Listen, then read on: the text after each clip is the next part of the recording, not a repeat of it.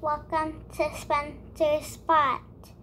Today I'm gonna make my um one of my recipes. You guys been requesting this for a long well not that a while but you wanted me to do a like baking or cooking video so I'm doing it right now.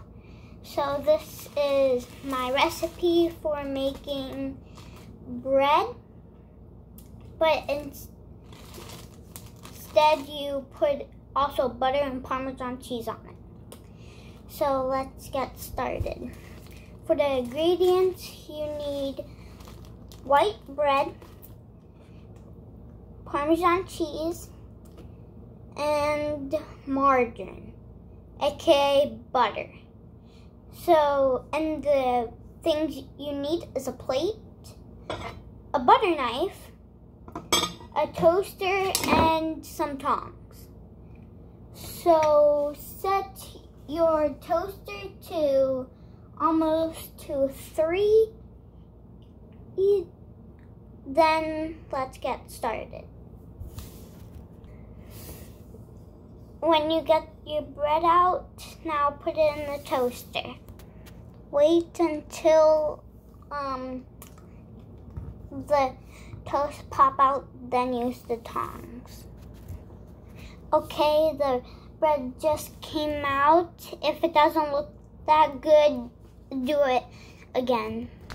Oh, and I forgot to say, test the bread on which one because when I tried this type of bread on the one I used to, like one little notch past five, this bread got burnt.